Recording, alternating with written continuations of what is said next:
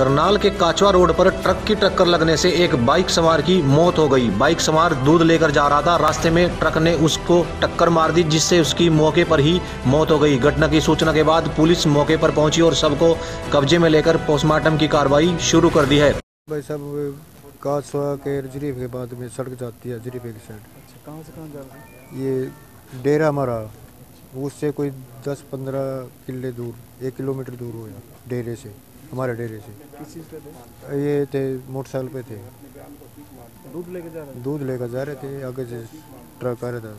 Speed तो इस side में जा रहा ट्रक। कितने साल के थे? ये तीस वर्ष का था भाई साहब शादी हो रही थी जी। बच्चे भी हैं नहीं जी। मौके पे मौत होगी मौके पे मौत। क्या नाम बताओ? मेरा नाम सुमेरा भाई। क्या